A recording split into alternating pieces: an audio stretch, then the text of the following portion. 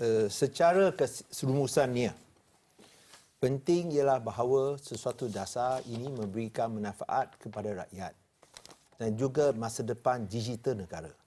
Bukanlah kita ditawan oleh investor interest, kepentingan tertentu yang memanfaatkan individu saja. So di sini bila disebut tidak mengekang pelaburan, saya rasa heran. Kerana maklumat yang diberikan bukan datang daripada pembangkang.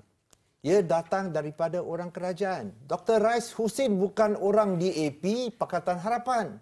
Beliau adalah orang kuat bersatu, orang kerajaan. Kalau orang kerajaan sendiri pun tak percaya, anda nak percaya siapa lagi?